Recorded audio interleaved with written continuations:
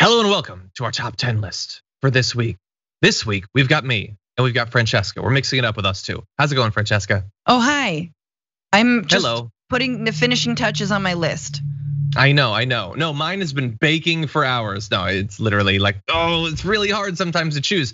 But anyway, what are we talking about? Well, we like to occasionally have these be timely, and everyone's talking about what sort of person should be hosting SNL? What does it mean to host SNL? How do they choose their hosts? Well, I'm a little bit worried now um, that the reaction to Elon Musk will lead to them making more like, hey, let's just be controversial picks. Um, and especially, I don't want them to give Jeff, Jeff Bezos a position. So we decided we're gonna offer up 10 people who should host SNL rather than just another awful billionaire. Mm-hmm. And I know that you might not have your set number five, but who would that be if you did? Way to push it. First of all, uh, we talked in at length uh, on my podcast about how terrible Elon was, and and I think the critics agree. He sucked. Well, I don't know. I didn't watch. He looked I- awkward in the few minutes I saw, but I didn't watch. I it. watched the full monologue, which is very difficult for me as a stand-up comic because I know so many stand-ups who would crush a monologue, write it themselves, know all the timing, and even a lot of actors are really bad at doing opening monologues, and so that always feels awkward to me. But then you've hmm. got to think about like how they're going to do in the sketches and whether they've got a sense of humor.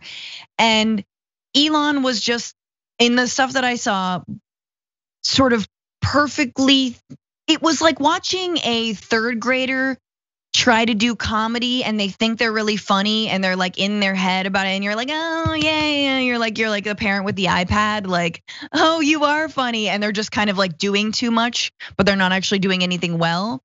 That was the vibe that elon gave me the entire time. Um, and i know god it's already started. The elon the elon stands the elon reply guys you guys once again Oh God. He's never gonna sleep with you. You're never gonna be a billionaire. You're never gonna get a cyber tank truck or whatever the hell it's called. Give it up. He's not gonna mm-hmm. retweet you. He's not gonna fave your tweet. He doesn't, you're not gonna party with him in Grimes. Stop Ugh, the Elon worship. Just suck. stop it. It's so dumb. It's the lamest, the Yeah. lamest thing you could possibly do is be an Elon stan. Anywho, my number five. I'm um I really want to see Olivia Colman, the actress uh, from The Queen, or no, the Queen, the Crown, uh, who I bad. who I love, and she is so funny. And British actors are just so much better when it comes to comedy. They take themselves so much less seriously. It's annoying. If you've ever seen the show, the ex or extras, just watch like Kate Winslet be hilarious and like Um, it was funny. just so good. And so, yes, Olivia Colman would crush it and is is also funny. She was in Peep Show, which is one of my favorite sitcoms, uh, British BBC sitcom. Um, and she'd be great. So Yeah. Olivia Colman. She was very funny in the favorite, and uh, yeah, no, she's good. She she would be good. She gave that great uh, speech when she won an award. Maybe for the favorite, might have been for something else, but anyway, she's yeah. very funny. Uh, she would be very good at that. Uh, my number five is a little bit different. Mine is like if you want to do something that's going to draw in new people, something that's like oh like you know Elon Musk is always trying to like be funny on the internet. Well, here's someone who's actually like really big on the internet without even having to be there. It's just about him.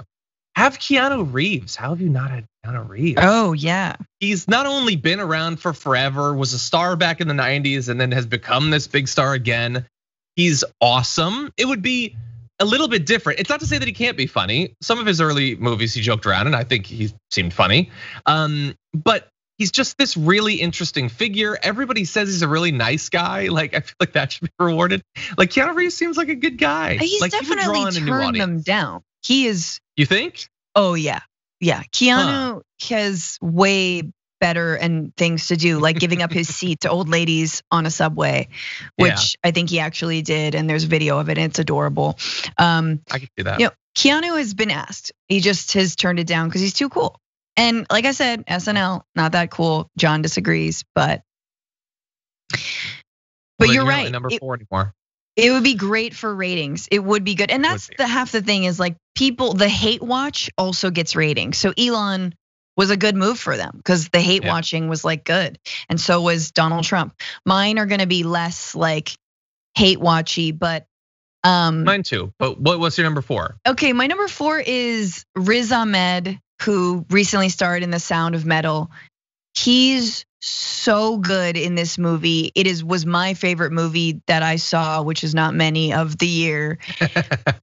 Riz Ahmed, he's also fine as hell. My God. Um, was he the was- actor that was in Rogue One? he was in Rogue One. He was in Okay. um he was in The Night Before, which was like a mini series, I think, on HBO. Uh he's great and he is so good in Sound of Metal. It's on Amazon. Everybody should watch it. Or no. Yes, on Amazon and everybody should watch it.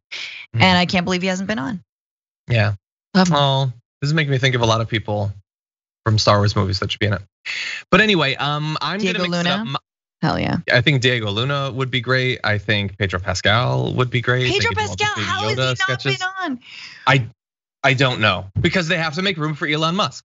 But anyway, um, my number four is gonna be I have a couple of people who are sort of like, hey, maybe grab these up and comers that are gonna be these massive stars. Um, and one is I, I think she's great. She's very funny. I would say Florence Pugh. Yeah. Florence Pugh was in um, Little Women. I was gonna say Little Girls. That's not right. Little Women. She's in Little Women. Um, she's about to be in Black Widow. Like that would be a great tie-in. I know that you love having Scarlett Johansson on, and she's great. She's very good as the host, but like she doesn't need to do it seven times. You could have Well, Florence Pugh. she's not mm, she's not dating one of the cast members. That's true. well, she was on multiple times before that, but yeah. Well, we could set that up. She could, I don't know, like hang out with one of them. But whatever. Anyway, she she's a really good actress. She was in Midsommar, which I watched because she was in it. I did not like that movie, but but she's good anyway. I think up and coming actress, she's gonna be huge, very talented, funny. Hey, even British or whatever. So like I would say Florence Pugh. That's my number four. I think all of mine, except for one, are not American. Oh really? Um, I'm mostly American. But what's I your think number three? Riz Ahmed is from the UK. Okay, my number three um, is Jamila Jamil. Uh, she is She so so, close on mine. wonderful. what? She was very close on my list too. Yeah. Oh. Yeah. So Jamila Jamil, she's an actress. I haven't actually seen anything she's been in, but I just love her presence on like online in any interview she's done. She's obviously been a champion for like discussing like body positivity and like getting rid of fat shaming. And she like she's so well, she's gorgeous and she's also like clearly has a sense Oh, of humor. she is, clearly yeah. doesn't take herself seriously. Um, I think could be a great actor. Definitely could kill a monologue. I just Mhm. I like her. There's nothing not to like about Jamila Jamil. Uh, I want to wear her skin as my own. Okay. Oh jeez. Wait, you said you haven't seen anything. You haven't seen The Good Place? No, You haven't seen The Good Place. I don't watch TV, John. I You do other to things. Watch The Good Place. She's so good in it. was She's one of the reasons it's a good place.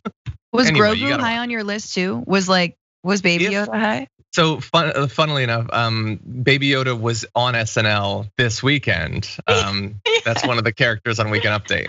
With eh, Kyle it's okay. Mooney, right? He's so Kyle I Mooney, yeah. I love that. He's funny. I like Kyle Mooney. I didn't like this sketch, but anyway, um, my number three is going to be, and maybe this is a cheat. I don't know. It's two people, and I'm fine with it being either one of these two people, but for the same reason, because um, one of my favorite shows of last year was Lovecraft Country. It Mhm. was amazing. And I want it to blow up and be like the next big Game of Thrones. But so far, I feel like not there's not as much talk about it. And Game Yeah. of Thrones started slow too. So I'm hoping if you have either Jurnee Smollett or Jonathan Majors, that would be great.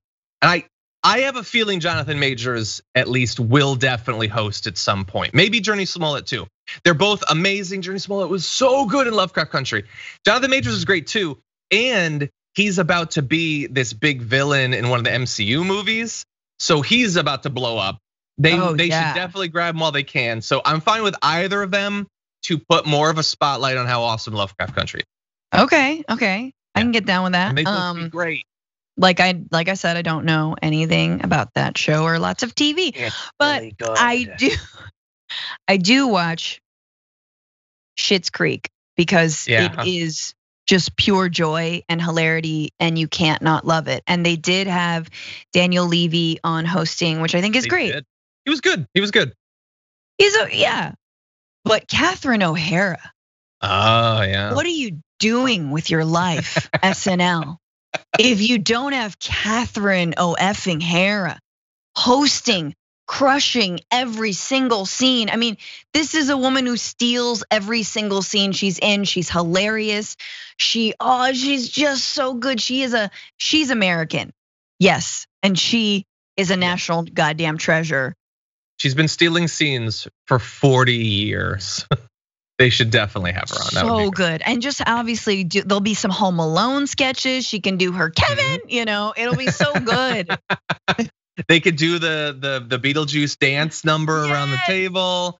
Yeah, I will say I've only watched a little bit of Schitt's Creek. I did like what I saw, but but yeah, she would she would be very good. Oh my god, I'm thinking of so many people that I want to host a show. Anyway, she would be good. Um, okay, my number two is again. This is on up and coming. People are going to be huge. Okay. Maybe this person is already kind of at that level. I don't know, but um, about to be in the next James Bond movie. So again, great little tie-in for later on this year. But also, this is an actress who's not only a great actress, but I know that she's funny because in Knives Out, she was hilarious. Ana de Armas should definitely host SNL. I think that she would be great. She's in this like big pop culture stuff. Like she's just starting to blow up, so you could probably still get her. Um, and, and very funny in Knives Out. I disagree. I don't think she was funny in Knives Out. I think you like her because she's hot. And she She's broke also hot, but she was funny. she broke Ben Affleck's heart and they're they got they they're getting sep- they're not separated. They broke up. Yeah, so now she's he's going too, back apparently. to J Lo. She's definitely smart for leaving leaving Ben Affleck. but That's such a weird thing. I think she definitely should host, but I'm like, yeah. I'm not sure if she was that funny in Knives Out. Knives Out I was so was meh for me. Well, I love Knives Out was my that and um the the satire about Hitler. Those are my two favorite movies. Jojo. Rabbit. Jojo Rabbit. Those were and I think Knives Out over Jojo Rabbit. It was so good. I can't I can't I can't thank you right now. Anyway, okay, so we have a disagreement about one. Well, what's your number one? We'll see if I accept that. I just want to point out that I have chosen now uh basically almost all women except for Riz Ahmed. Uh couple of people of color, but specifically women over the age of 50, I Hmm. believe. Yeah. Catherine O'Hara, Olivia Colman, with women who are crushing it in their game, but who SNL does not consider for like Oh, yeah. hosting their show. They want someone who's like young and hip, and uh, it's like yeah, pair them with you know Megan Thee Stallion or you know Miley Cyrus or Dua Lipa or whoever. But like these people would be so funny. These people would make me watch. They'd make us Now, think that on. SNL was funny again. You are totally right that they generally don't have on older, Older actors, women. and especially older actresses. But just narrowly squeaking by, Regina King earlier this year is 50. So that's Okay. like the one person in the last couple of years, I think. Yeah, yeah, yeah. So maybe they could. Maybe Olivia Colman's a possibility. But my number one fits very much in this ethos and fits much in just someone who I think is so funny, so good, and who also has been dabbling in politics, of course, at a run at the governorship in New York. Cynthia Nixon should absolutely host SNL. She's so funny. I just rewatched Sex in the City because Cynthia Nixon is the best part of that show. She's great. She's got the best comedic timing. She's got the best lines. She's so wonderful. I love her. I think she cares. I wish that Cuomo were not the governor and it was Cynthia Nixon, but I totally want to see her crush it on SNL. It Hmm. won't happen because she's not It like an won't A-lister, happen. But I want her to. Um, partially that, and partially, I don't know. The, the- Cuomo the won't let it. politics of SNL is, I don't Crap. think they that that would fly. Um, and not not necessarily the cast members necessarily, but like I don't think Lorne Michaels is gonna have Cynthia Nixon on. Um, but that's a good that's Very a good conservative. He's selection. That would be good. conservative. Yeah, well, yeah.